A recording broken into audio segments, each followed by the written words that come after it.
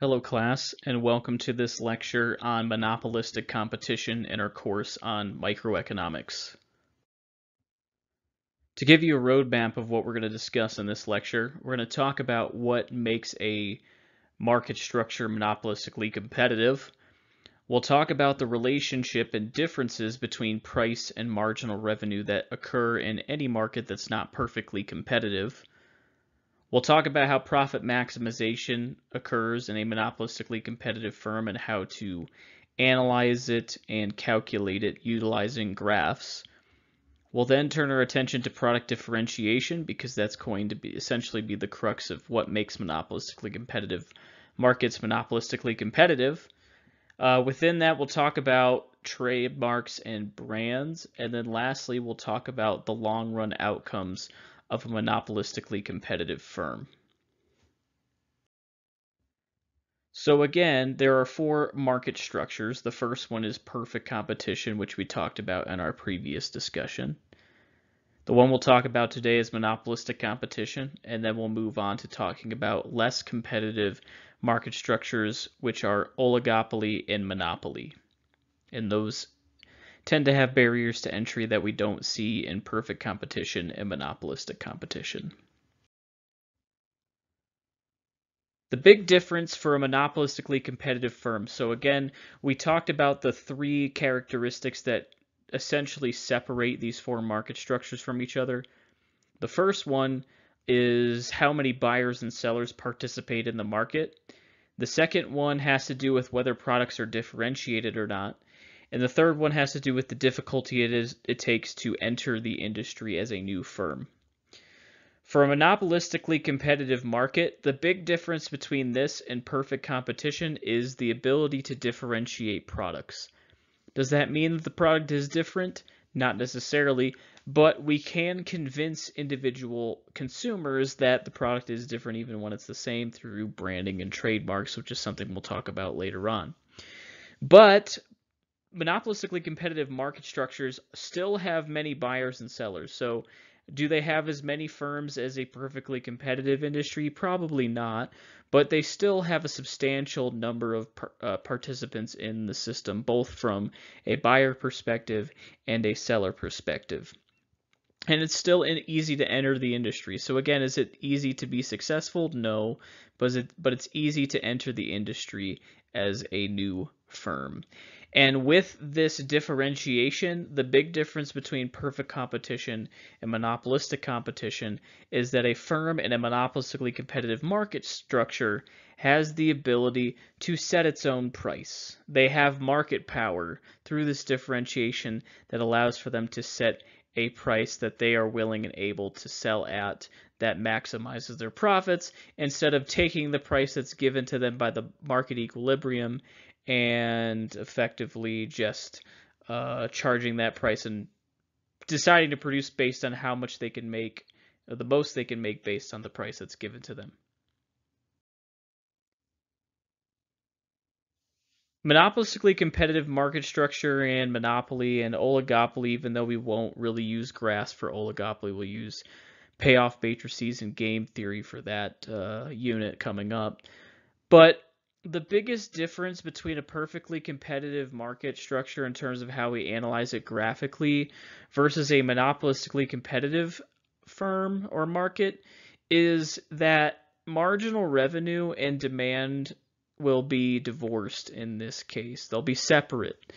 Uh, in perfect competition, because you were charging the same price for every single unit that you sold, marginal revenue was just the same as price, and so we had a horizontal demand curve, and it essentially was the same as marginal revenue.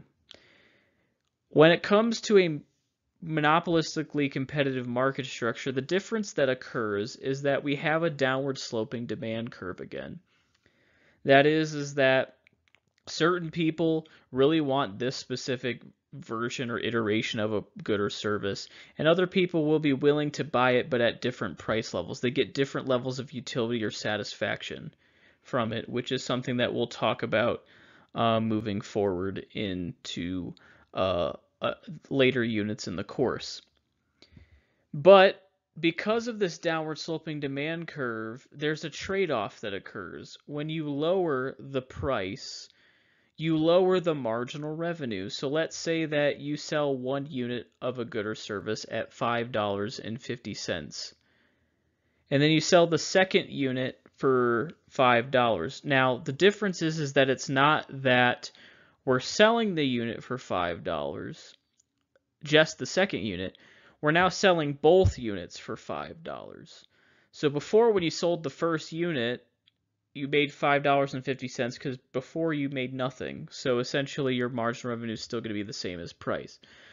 However, now when you lower the price to $5 to get that second additional uh, unit sold, you now only have a total revenue of $10 because you're not charging the first person 550 you're charging the first person $5 just like you're charging the second person $5 and so when that happens you have a marginal revenue at that point of $10 minus 550 which is only $4.50 so your marginal revenue is actually less with the second unit than it was before with the higher price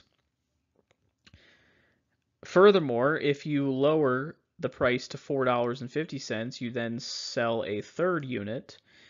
But again, all three consumers are now going to get it at that $4.50 price. And so as a result, your margin revenue is going to now be 450 times 3, which is actually $13.50 minus $10. So your marginal revenue is now only 350 and that will keep going and going and going until the point where we sell the sixth or seventh unit of the good or service and our actual marginal revenue will be negative at that point. We'll actually make more revenue by selling the sixth unit than we will by selling the seventh unit because at that point the trade-off to get that additional consumer results in a net negative because you're giving up all of the previous revenue. So let's say that we're charging $3 for 6 units. Well, if we're charging $3 for six units, well, that means that we're making $18. But when we charge 250, we now lose 50 cents for the first six customers in order to gain $2.50 from the seventh customer. Well, if you're losing 50 cents times six customers, that means you're losing $3 just to gain $2.50. And when that's the case, you end up losing 50 cents in overall total revenue.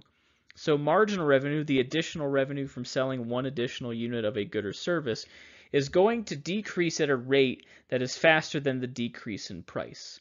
And they are not the same concept anymore. So before with perfectly competitive markets, we had a situation where marginal revenue and price were the same. Now marginal revenue and price are going to be different.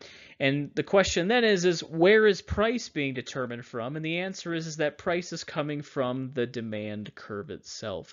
So price is always determined by demand. So even though marginal revenue is $4 and $4 at three units, we're still charging $5 for that product. And the marginal revenue only reflects the additional revenue that we're getting from that additional unit that we're selling. The important thing to take away from this, though, is that profit maximization, again, always occurs where marginal revenue equals marginal cost. And so our profit maximizing level of output will still be determined that way, but it won't be as simple as just looking at the demand curve for everything. We'll have to actually use both curves to determine the price and the quantity. Before, we already knew what the price was we were just finding quantity. Now we have the task of finding both. So again, profit maximizing is still going to be at the point where marginal revenue equals marginal cost. The difference now is that we have to take into consideration the price and marginal revenue as two different things. So the profit maximizing level of output in this case of producing cafe lattes is going to be at the point where the marginal revenue curve that is downward sloping in that grayish blue versus the the deep blue is going to be intersecting the marginal cur cost curve at some point. And that point specifically is going to be our profit maximizing level of output. No longer is it going to be where the demand curve intersects the marginal cost curve. That will give us a different answer and an incorrect answer. So if point A is the profit maximizing level of output point where marginal revenue equals marginal cost as indicated by both graphs, then 5 cafe lattes is going to be the profit maximizing level of production for that firm. The question now is what is the price? If you were going to just say, well, let's just go over and say it's a dollar fifty, you would be wrong. The problem there is that that's marginal revenue. That's saying that the company or the firm made a dollar fifty on that fifth cafe latte in terms of total revenue over what they would have made by selling only four cafe lattes. But that's not actually what the person paid for it. The person that's paying for it is paying as it pertains to the demand curve. And so in order for us to determine the profit maximizing price, we have to take that point A, go up to point B, which is the same point on the demand curve at the same level of quantity. So again, at five cafe lattes, point A and point B are kind of going to be in that same line of sight. But the actual answer for price is going to be point B. So we have to go from that A intersection point up to the demand curve and over to the left. And that point is the actual profit maximizing price.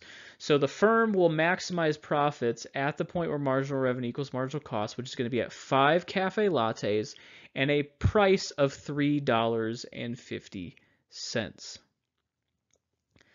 Now, the right graph shows us the average total cost curve, which I told you before in previous lectures is what determines whether or not the firm is making money or not.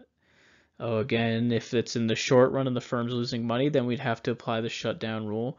And if we're making money, we want to know how much. So again, profit is just price minus average total cost at that profit maximizing level of output times the profit maximizing level of output.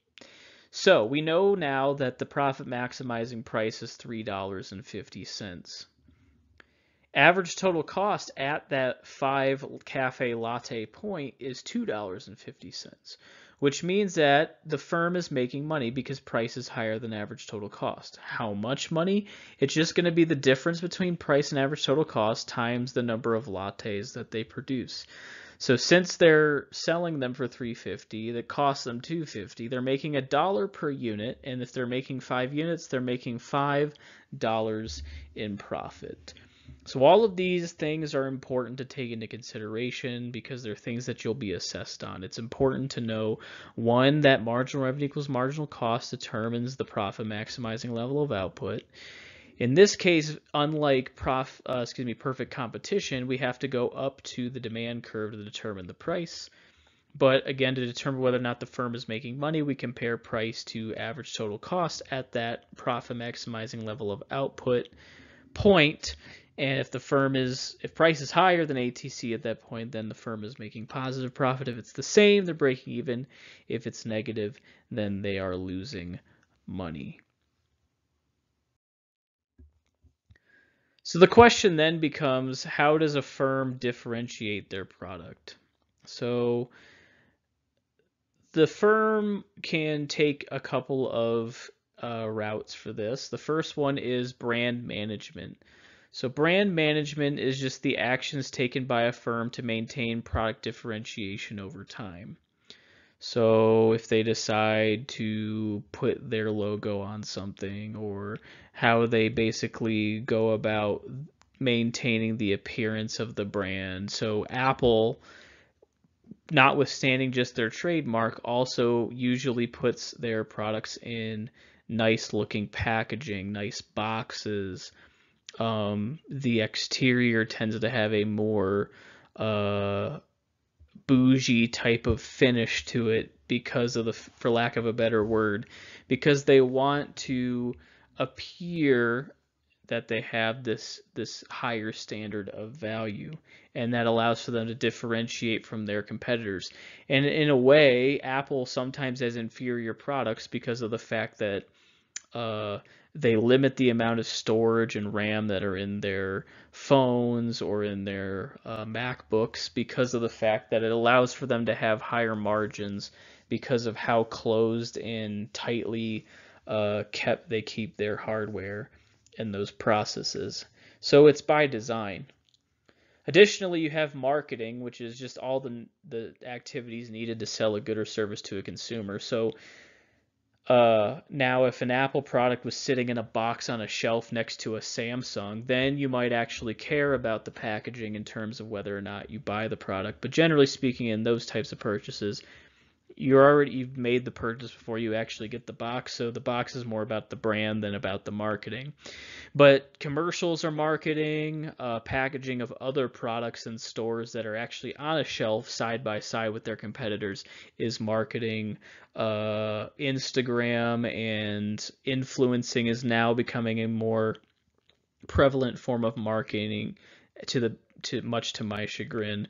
But another interesting type of marketing is data marketing. So because of social media and uh, websites and cookies on your browser, we now have a lot of information at our disposal where we can micro target marketing to people who have a higher propensity to buy the product instead of just spending money on every single human being on like a traditional billboard or Super Bowl commercial. Another way in which a firm can differentiate its product, and it's pretty important if it has one, is a trademark. So a trademark is a form of intellectual property. Now, intellectual property has been around since the Constitution. In fact, copyrights and patents have been built into the Constitution, or built into it. It's in Article 1 essentially. So, but even before the Bill of Rights, it was there. Now, patents are going to be important in oligopolies and monopolies, and you could have a patent on something that allows for you to be in a ubiquitous space and have a little bit of an advantage. But generally speaking, we focus on it in in more of a restricted type of market structure. Meanwhile, trademarks are intellectual property, but they're actually governed under the Commerce Clause of the Constitution and didn't really become a federally protected type of IP uh, until the 1940s when the Lanham Act was passed. So, what is a trademark? You might know what it is. You might see the R with the circle around it or a TM attached to something that you've bought that's associated with a brand or a sports team or even the college. But basically, it's a unique indicator of source, origin, sponsorship, or affiliation of a good or service. So what does that mean? It's basically an indicator of a origin or source of something. And the reason why it exists wasn't so firms could make a ton of money by having a brand or a logo. It was really just there for the protection of the consumer. So if you go into a grocery store and you want to buy a can of Coca Cola, you know because it has the image of Coca Cola that it's not motor oil inside. And you don't want people, and it also allows for an individual consumer to take less time when they're purchasing products. So it's from an efficiency standpoint, it's economically beneficial. From a safety standpoint, it's economic benef- economically beneficial. But nowadays, it's economically beneficial for the company if it builds a strong enough brand or trademark uh, to basically um, have an extra arm of value in their company. An example of this would be looking at the world's most valuable trademark. So uh, this data is from 2019 from Forbes magazine. And the most valuable trademark in the world is Google. So Google's trademark is estimated to have value of $44.3 billion. So that is not only the name of the product and the logo of the product, which also is protected by copyright law to a certain extent, but it's also the goodwill and reputation of Google as a business. In fact, if you transfer a trademark to somebody else without the goodwill and reputation, it doesn't mean anything. It's a very weird legal uh, hoop that you have to jump through, but it's something that is in the um, codification of transfers and licenses of trademarks. The second most valuable trademark is Microsoft, followed by Walmart and IBM tied for third. And then Vodafone, a telecommunications company in Europe and Central America, is worth is fifth. And then you go down to Bank of America, General Electric, Apple, Wells Fargo, for how long I don't know, and AT&T. So my guess is because they're some of the world's most valuable trademarks that outside of maybe Vodafone, um, you probably know what their logos look like just by looking at the name. So Google, you've got your red, yellow, and blue lettering for Google. Microsoft, you have uh, the M or just maybe even the Windows logo or something like that. Walmart, their little minimalist star or the W and the original star between the wall and the mart. IBM, it's the blue IB and M with like kind of the dot build. Uh, Bank of America, it's red, white, and blue uh, logo. GE, it's the little cursive GE in a circle. Apple, the partially bitten apple. Wells Fargo, probably a carriage of some sort, or people ripping people off. And then AT&T, their little blue Earth thing with the white. Uh, you probably just can envision those just by looking at the name, and that's pretty much what goes into a strong trademark. Surprising to me that Coca-Cola isn't up there because it's one of the most well-known trademarks, but it's not the most valuable necessarily. In terms of brands, though, Coca-Cola is in the top. So again, trademarks and brands are different. Trademarks is the actual intellectual property that associates with the goodwill and reputation and the logo and the name itself. A brand encompasses everything else. It encompasses the marketing. It encompasses the kind of je ne sais quoi. It includes all of the cachet and fanfare that people have built up in the community, in marketing, and social media, and business to basically give it a value in its company. And so Apple has the highest value there. Apple is worth about a trillion dollars in terms of the stock market, but in terms of their actual brand itself, not including necessarily the actual products, is 205 billion dollars. That's followed up by Google and Microsoft and Amazon, then Facebook, then Coke, Samsung, Disney, Toyota, and McDonald's. So this might associate more with kind of what you as a consumer would think about in terms of value versus the other one, which is focusing more in terms of the value of a trademark as it pertains to intellectual property. Both of these are important. They aren't necessarily the same, um, but you can see how much economic value a brand or a um, trademark can give you. And that's not even focusing on the product itself. So, like, Apple could have a junk product, but because of the fact that their brand and marketing is so strong, they could differentiate themselves from their competitors. And that's kind of one of the key takeaways and benefits of having a strong, solid take uh, trademark is. Now, there are two types of differentiation that we can talk about. The first one is vertical differentiation. So vertical differentiation is just essentially making your product better than your competitor's product in terms of usefulness. So maybe battery life is longer, or it lasts longer before it breaks down, or you're giving them a higher quantity for a lower price, or it really does just have more usefulness than your competitor's product.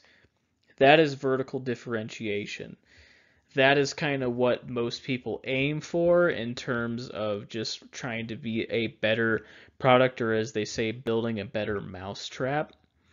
Uh, you can compare that though to horizontal differentiation. Horizontal differentiation is basically just a situation where you are making the product more niche focused. It has a tweak to it that's specifically focusing on one smaller population of the consumer market.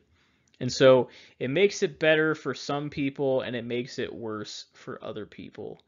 Um, so you can't really distinctly order it or rank it while you can with vertical differentiation. For horizontal differentiation, I might order it differently than somebody else does, or because of the fact that, well, maybe I have blonde hair and I need shampoo specifically for blonde hair or blonde highlights. Or maybe I am a vanilla ice cream person and someone else is a chocolate ice cream person. So my effective ranking is different than somebody else's, but it's still an important differentiation to make because if you can cater to that specific population that someone else may not be, then there's a lot of money that's that could be made in that in that specific space. Now go, again, going back to long run situations, monopolistically competitive firms and perfectly competitive firms both in the long run are going to assume to make break even profits or zero profits. Now, just like before, so I didn't talk about it, but the shutdown rule that applies for perfect competition also applies in the short run for a monopolistically competitive firms. So just because we did an example that shows that monopolistically competitive firms are uh, positively profiting in that cafe latte example doesn't mean they lose money in certain circumstances and you would use the same tools that we learned in previous lectures about the shutdown rule. If price is higher than average variable cost, you stay in business. If it's less than, you go out of business and you shut down. Now, just like with perfectly competitive markets, you're going to have a similar outcome in terms of your profitability. The difference for a monopolistically competitive firm is that the reason for it is different. Uh, with a perfectly competitive market space, what was happening before was since the product was homogeneous and non-differentiable, you basically had a situation where if firms entered the industry, it would shift the supply curve to the right, which would lower the equilibrium price. The difference here is because firms are price makers, not price takers, they're not at the whim of the market in terms of what price they charge they still have a downward sloping demand curve, which gives them a higher chance to be profitable. The problem is, is that if in a monopolistically competitive market, there's still lots of people that can compete with you, and while they might not have the exact same product, they can make it as closely as possible, like a generic brand of a certain product that you might use, like mouthwash or something like that. They make it close enough in formula where basically charging a lower price uh, some people will switch just because they're like, I can't really tell much of a difference, and so my demand for this product is going to be more elastic. So before, if you have inelastic demand because you're like the only person making it or only a couple people are making it, then you have a lot more flexibility in terms of your price. But if you have elastic demand because there's more competitors in the space, doesn't mean that your price is shifting the supply curve down and you're taking that price. It just means that as the product becomes more elastic, you have a little less flexibility in kind of charging whatever you want because if you charge too much, then people will go to the other product. And if you charge too little, well, then you might lose money. And so the right side of this graph reflects that changing elasticity from the short run with the blue curve with the A demand curve to the B demand curve in the long run to the point where basically your average total cost is equal to your price at that new equilibrium. And so before in the short run you were making more and your profit was that big green rectangle, but now in the long run as elastic demand starts to kind of get in your way, your new profit maximizing level output is Q long run and your price is lower and it's equal to ATC so you're making zero profits. Now, again, just like with perfect competition, you might have a situation where you're just kind of going back and forth in terms of periods in which you're making money and periods in which you're losing money. But overall, the assumption is that you're going to break even.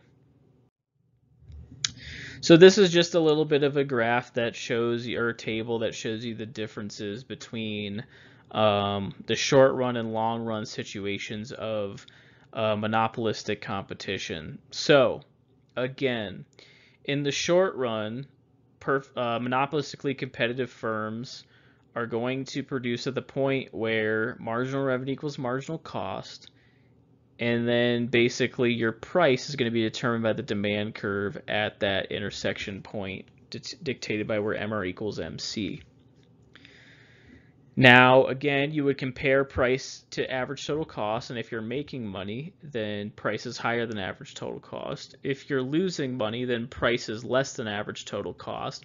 But that doesn't necessarily mean you should shut down. You should only shut down if there is a circumstance in which the average variable cost is higher than price. If average variable cost is lower than price, then again, those fixed costs will expire eventually, and then you'll become profitable or break even at that point.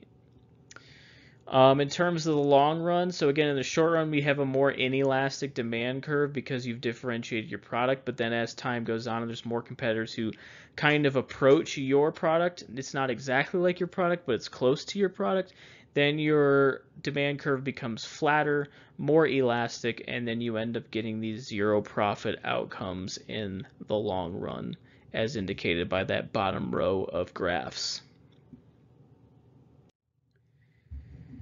Now, if we compare ourselves between perfect competition and monopolistic competition, again, Perfect competition is profit maximizing at the point where price is equal to marginal cost because price is equal to marginal revenue. So it's the same uh, optimization uh, means to finding the answer, but because uniquely in a perfectly competitive space, marginal revenue is equal to demand, then we basically just do that. And in the long run, because of increased supply, which shifts down that price taking equilibrium price so that we end up making zero profits. On the other hand, we have a situation where marginal revenue equals marginal cost in the long run, and it's equal to ATC, price is equal to ATC in the long run. Um, so we still make zero profits, and that's due to changes in elasticity. But really what this graph is focusing on is an efficiency question. So we've talked in this course about productive efficiency and allocative efficiency. So allocative efficiency is market equilibrium, basically quantity supply is equal to quantity demanded. There's no wasted resources because we produce too much, and there's no people left empty-handed who are willing and able to pay the price. The other one is productive efficiency. We don't necessarily talk about this as, as much, but really here's where we can see it. In a perfectly competitive space, notice that the equilibrium point where marginal revenue equals marginal cost happens to be intersecting the average total cost curve at the lowest possible point on average total cost. So again, productive efficiency is producing a good or service at its lowest possible cost. So perfectly competitive markets are considered productively efficient because of the fact that they are producing at that lowest possible cost. But if we look at the graph on the right-hand side with the monopolistically competitive firm, that is not necessarily productively efficient because of the fact that minimum ATC is well beyond the actual profit maximizing level of output that we have decided to go with. And so there is an element of market inefficiency and, in a way, market failure because of the fact that monopolistically competitive firms are not productively efficient. So, perfectly competitive firms are productively efficient. Monopolistically competitive and essentially every other market structure after this are not productively efficient. And so that's a loss of efficiency there. So that concludes our lecture on monopolistic competition. Again, if you have any questions, feel free to reach out. And I wish you the best of luck on your assessments and any other classes that you may have.